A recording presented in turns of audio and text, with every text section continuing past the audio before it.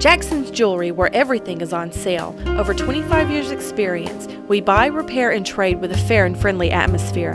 Jackson's Jewelry in Governor Square across from Chuck E. Cheese.